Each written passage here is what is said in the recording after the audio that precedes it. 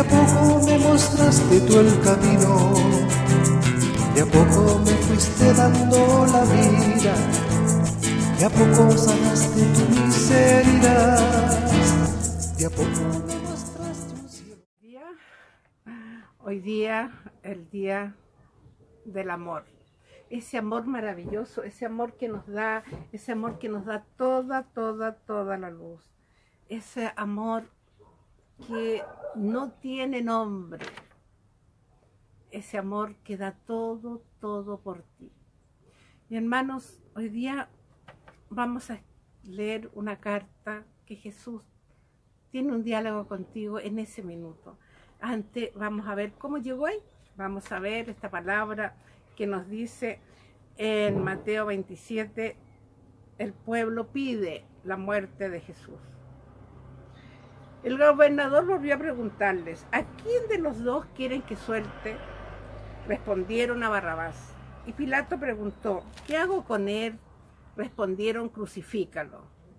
Y él dice, ¿qué mal ha hecho? Y todos gritaron una vez, crucifícalo. Entonces fue mandó azotar más a Jesús y después lo entregó para crucificar. Palabra del Señor. Una persona que sabe que es inocente se deja llevar por la masa, como hemos dicho tantas veces, y crucifica y manda crucificar. Y mira a ese hombre que está en la cruz. Este diálogo que tú tienes con Jesús Escuchemos. Eres tú el que está hablando. Tú no. Juan, María, Cecilia, Josefina, Marta. Jesús, quiero hacerte una pregunta. Durante estas largas horas en la cruz en que agonizabas, dime, Señor, ¿en qué pensabas? Y Jesús responde, pensaba en ti. Sí, Señor, lo sé, tus ojos me miraban, pero ¿quién soy yo? Seguramente habrá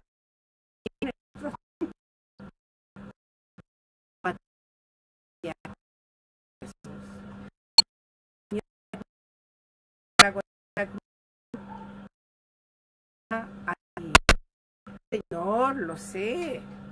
¿Me ¿No ofrecías tu sangre por otros motivos? Dime, ¿cuál es la gota de sangre que has derramado por mí para recogerla y guardarla? Toda la sangre, el arroyo completo lo vertí por ti. ¿Cómo, Señor, toda la sangre? ¿Cómo habría bastado una gota? No solo mi sangre ofrecí por ti, sino también mi cuerpo, mis manos y mis pies, mis hombros y mi costado, mi espalda llagada, yo mismo ¿Y los otros, Señor, qué le reservas? No comprendes. Yo soy tuyo, todo entero. Señor, quiero saber algo más todavía. Durante esas horas en la cruz que te causaron tanto padecimiento, dime, ¿cuál fue tu sufrimiento mayor? Sufría por ti. Sí, tú cargabas los pecados de todos. Su peso se acumulaba hasta oprimirte. Pero me puedes decir, ¿con qué espina clavé yo tu frente? No es con una espina, sino con toda la corona. ¿Cómo, Señor? ¿Soy yo el que te azoté, el que te clavé, el que te he matado? ¿Y los otros, Jesús? ¿Los otros, entonces, qué han hecho? toda mi pasión eres tú. Mi Jesús, en esas horas de lacerante suplicio, tu alma estaba entonces en la derrota y el temor. ¿Qué es lo que más te preocupaba de mí en esos momentos? Temía perderte para siempre. Sí, Jesús, lo sé, las almas que se pierden hacen inútil tu pasión, pero ¿es grande el número de los que se pierden? ¿Es cierto que su número es más grande que el de los elegidos? Hijo, si solo te pierdo a ti, lo pierdo todo. Pero Señor, ¿qué que deseas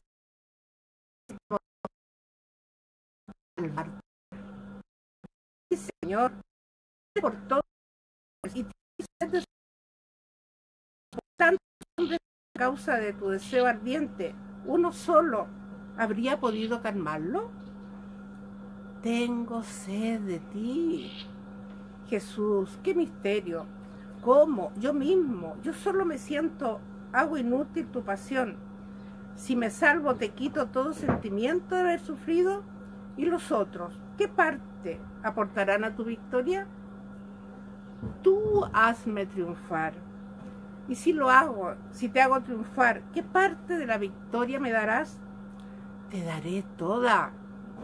Ahora sí comienzo a comprender y a descubrir el secreto de tu amor tan secular. Dime, ¿qué puedo hacer por ti? Solo ámame. Señor, yo no amo más que a ti, pero ¿qué don de amor apartaré? Dame todo.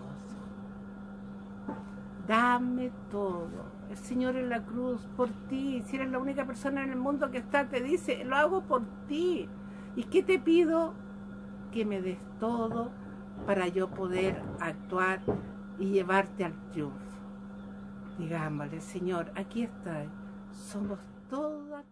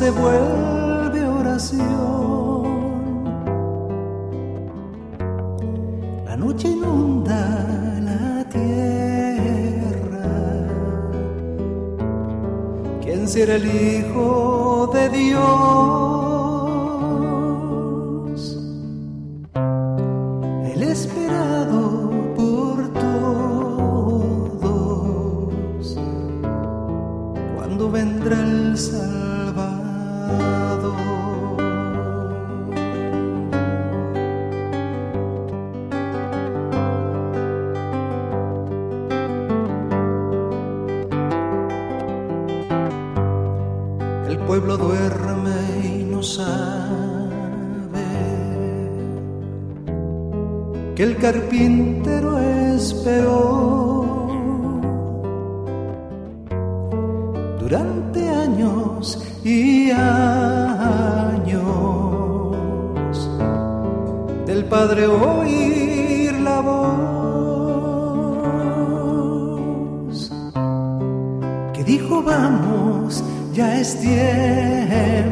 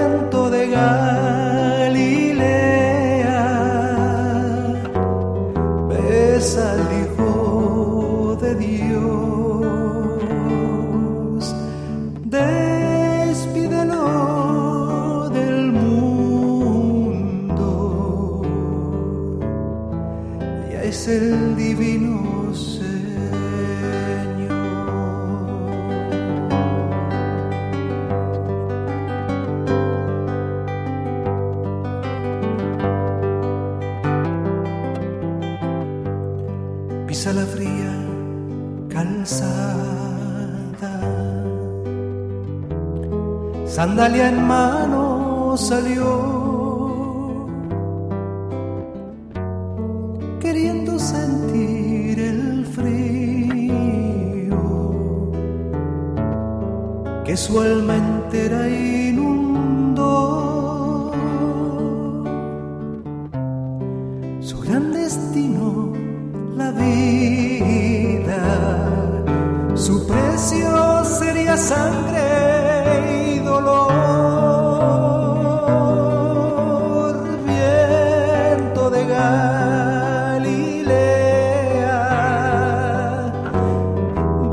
desalijo de